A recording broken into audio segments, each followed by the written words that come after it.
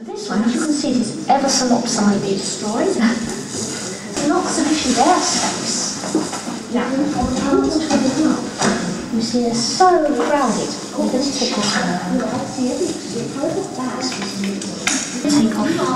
the snippets by holding the bowl firmly and cutting off the roots. And chop it into quarters and then we just have a piece of basal plated to the and that is a twin scale.